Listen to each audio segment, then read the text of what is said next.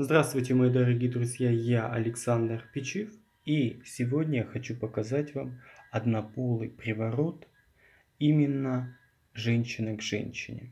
Попросили меня показать, это арабский, выложу еще попроще, потом, попозже. Сейчас посложнее покажу.